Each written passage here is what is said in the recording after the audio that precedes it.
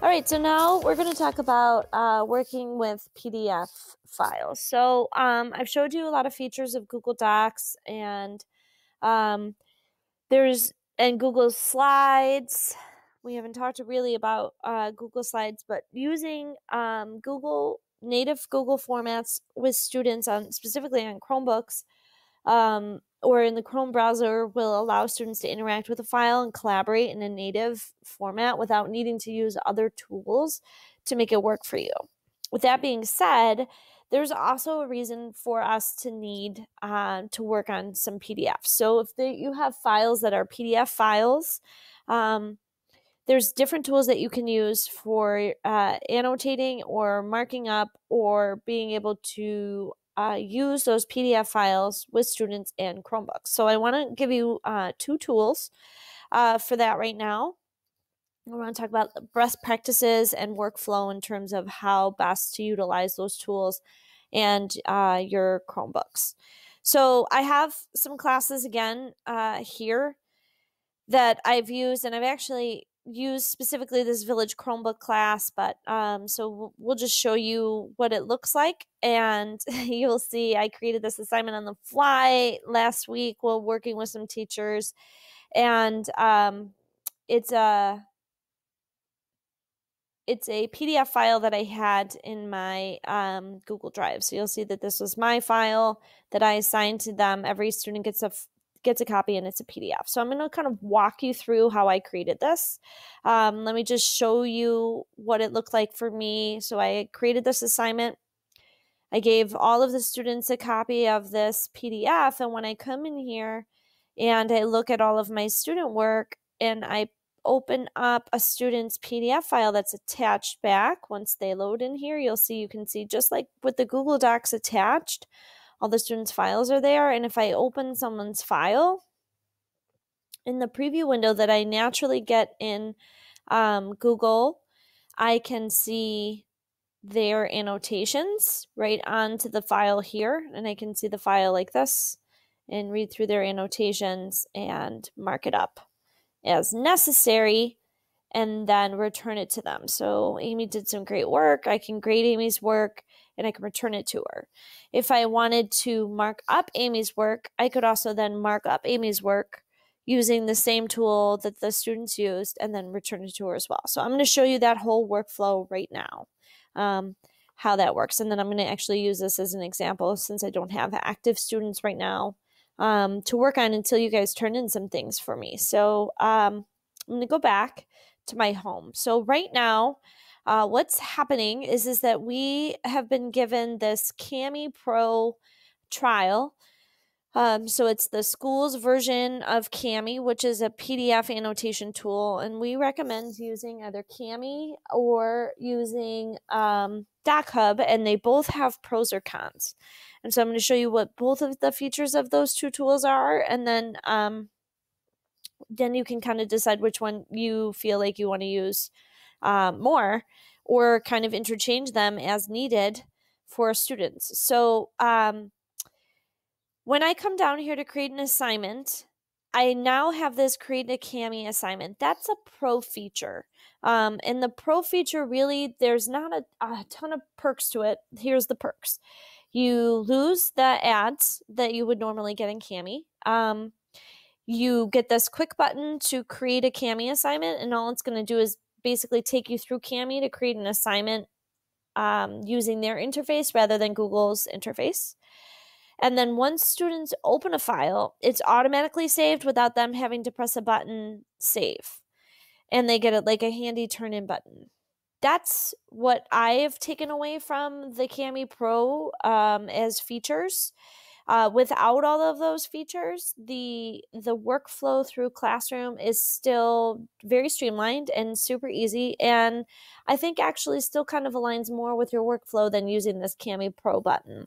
Um, you're more than welcome to use it, but you should know that uh, after the end of October, students are going to need to press the Save Now button. So, encouraging them to save their KAMI assignments uh, regularly will help alleviate any of those issues because the save is where they sync basically any of their changes back to their drive.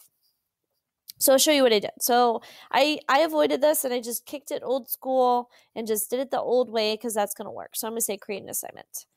And I'm going to make an assignment PDF and you guys are going to see this in classroom because I'm going to create one for you. Um,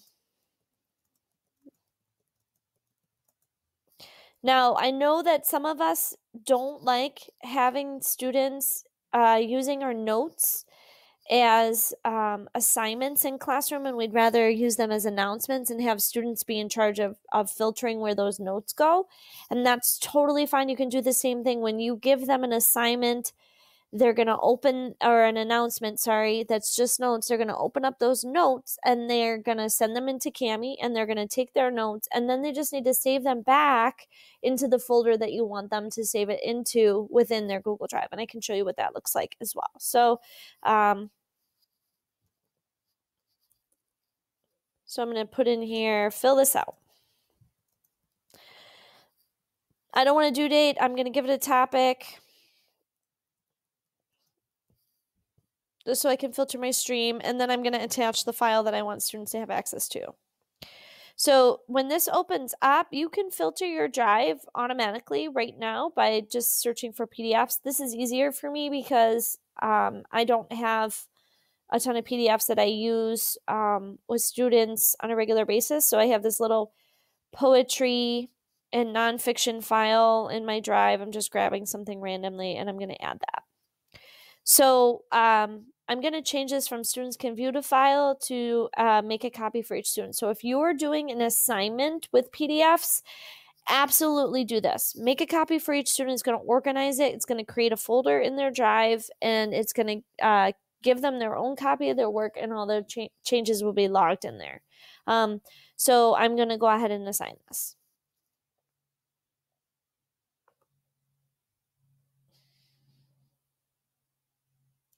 So then this is going to get assigned, and now everybody who's in my class is getting an assignment uh, through here, and they're going to open up the assignment and do some work in that assignment. So I'm going to switch into uh, my student account so that you can see that.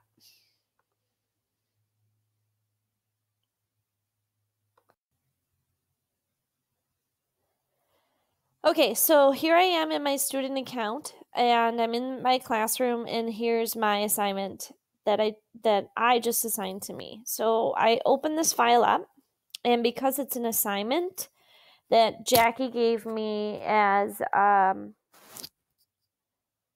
every student gets their own copy, my copy is going to be sitting on here. So here's my copy of my file, and this looks great. So this process is actually, I think, a little bit more streamlined. So when I click on this file and it opens up in this window here, I have this button right here at the top that says open with Kami And it's ready for me to open it with Kami. If you don't see that button, it's because um, it ha- probably hasn't updated or not. And so then you would just say open a new window and then you'll have an open with Kami button at the top here. So, and I'm pretty sure that this, um, this open with kami default happening here is part of that pro license. And so if that's not there, you pop it out to the new window with the three dots over here and you say open a new window. And then here you get this open with. So here's where you could have students bounce between uh, the two different types of apps that you would want them to open it with, either Kami or DocHub. Um, if you don't see any apps there, it's because you just haven't connected those apps to your drive. And so you'd say connect more apps.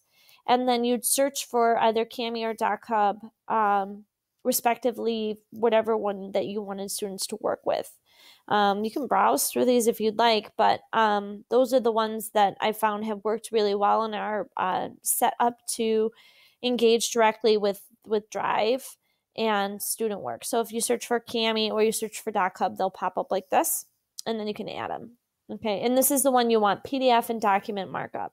They have an OCR reader, they have a split and merge, and they're all like separate applications, which I don't love. And in DocHub, all of those features are kind of um, are built in. So there's definitely pros and cons to both. So if you search for DocHub, um, if I search for Doc, see.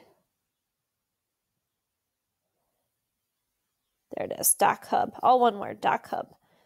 So if you search for DocHub, it'll come up and, and have students add that one as well because they're great apps. So I'm going to say open with Kami. I have it here because of the, and I'm pretty sure this is that pro license, but um, you can also just click it here while enjoy it while it's there. So once it opens up in Kami, it's going to open up the file in the Kami viewer, which looks like this. I'll show you what um, some of the pro tools are, and you'll see that this trial ends in um, a few days. I'm just going to allow Google Drive. It's because I'm signed in as my student. I haven't done this before, so make sure that you know you authorize Google Drive. When they do that, you say allow, and then it'll open. So all these tools over here on the left hand side aren't going to go away. I'll show you which ones will once it loads here. So the select tool, the highlight tool, striking through text, underlining text, um, adding comments, those all stay text. The equation editor is a pro feature. Um, the drawing tool is there and the shapes tool is a pro feature. And then all of these other tools are all, I believe, in the regular version. So you really do have a lot of uh, functionality just with their basic version. And this is what it looks like here. Um, so I'm in my drive and then I'm here with my file and uh, we'll make sure that we, I'm to pop out, I'm just to pop out um, this one. So this file that was popped out, I'm to say open with Kami and I just want to see where this one comes from. Because this, what I'm saying here is only went from my drive into this file here. Like it's going to put it right at my root and it's not going to embed it with my folder. I'll show you how you can change that, but I just was curious to see if without using that button and popping it out if it puts it where it's supposed to put it, which it very well may. Um, anyway, so your students can use the text tool and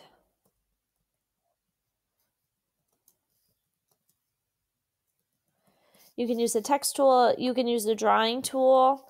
Um, the touch on this is pretty great. So um, you could use the drawing tool in here and answer.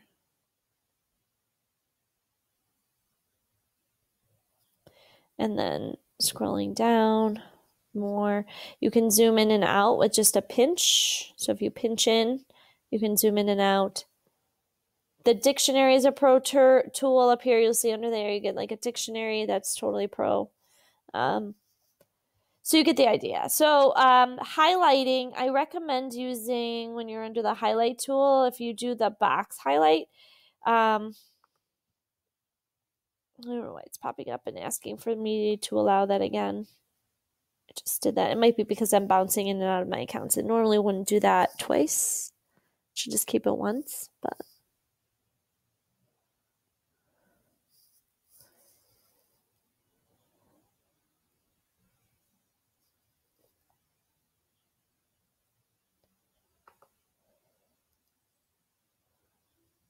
Okay, so the highlight tool um, will only, well, I guess it, you have to like click and drag over to do a highlight. Um, and you can change them by like clicking and dragging.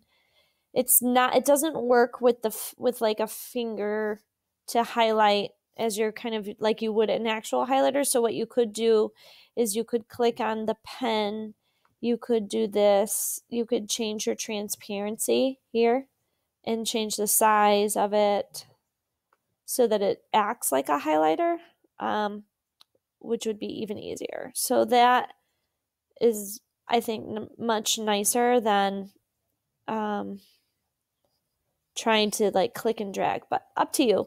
So I make all my changes here, and so this is where my file is going. I can change the name of my file if I wanted to. I don't really want to because I like the naming convention of Google Drive. So what um, I need to do is I need to click on this save icon and you'll see, do you see this auto save is um, checked and it's auto saving this? Um, that is because of the pro license. So once that goes away, they just have to make sure that they click save now. it is saving it right now to my root. So I want to move this into um, into my assignment folder. And the only reason it's just not making the connection the way that it's supposed to, it should have pulled right from the assignment folder and I shouldn't have to move it. But by moving it here, um, by having them go through this, if you're somebody who created subfolders inside your Google Classroom folder for like notes, vocabulary, units, your students could move it into the appropriate folder as you go. Um, so if I went into my drive, I could go into my classroom. So I'd want it, and this is the class I'm in. And then if I had subfolders in here, I would put it into a subfolder. So that's where I would really want it to go, um, is into that folder. And it's not even letting me select there we go. Select that folder because I don't have a subfolder in there. So, and then I would just push it into that folder by clicking the Save Now. And that will put all of those changes into the PDF that is actually attached to the classroom assignment. Um, just for kicks and giggles, I opened up this other file from the popped out window and I was just curious where this opened from. So I'm just going to allow this and it did. It went right where it's supposed to go. So I just want to show you the difference between those.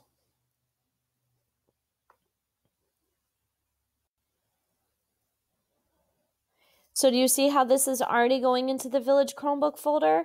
So when when I clicked on the file, instead of clicking on this Kami button, if you clicked open a new window, it's going to bring it here and then this open with and then choose your editor, that's going to really put it where it needs to go. Um, so do that practice. That's the best practice to do. It's going in my Village Chromebook folder already, and I click Save Now, and it's going where it needs to go. It's pretty awesome.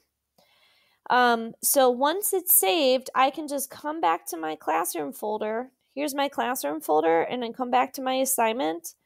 All those changes are going through Drive. All of them are there, so I can just click Turn In and my teacher is going to receive all of my annotations on my document. I don't have to reattach anything if I'm assigning it with that every student gets their own copy.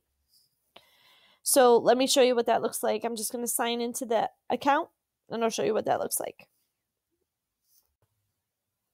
Okay, so back in my class, you'll see my students turned it in, and then if I open this up,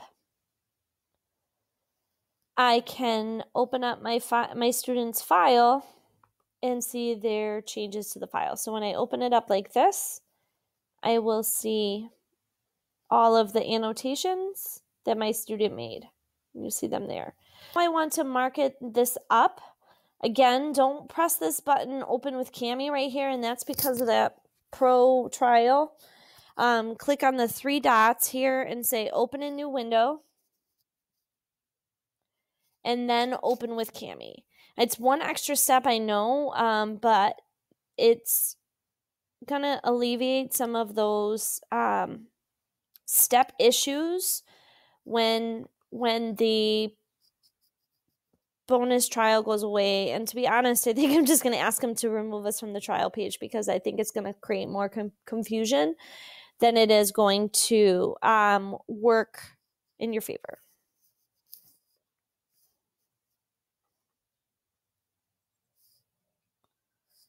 So once this opens here,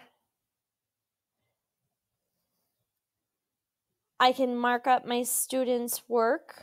So now what I can do is do comments and I can make like little comments here. If I just click in, it's going to put like a radial button and I can add comment. And I can go through and do other things, highlight, um, I can use the drawing tools. I can do all of the things that you could do before um, on the file. And then when you're done marking up the student's file, you'll see that this is going into the right folder, the PDF for you folder. That's the uh, folder that I assigned the file from. So if you hit save now, my student's going to get all of those comments back, um, which is really nice.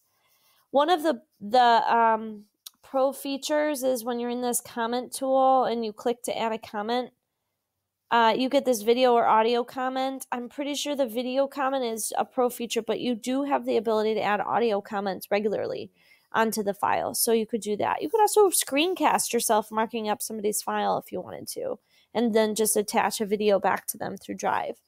Um, you could totally do that. So um, this is going into the right file. So I know it's one extra step, but pop these out from from here don't click on this button, pop these out. Again, from the student view, I did the same thing. Pop it out into that new window. That's the workflow that's always going to work for you. And it's really crisp because it puts it right into the subfolder where you want it to go. Um, so that's super cool.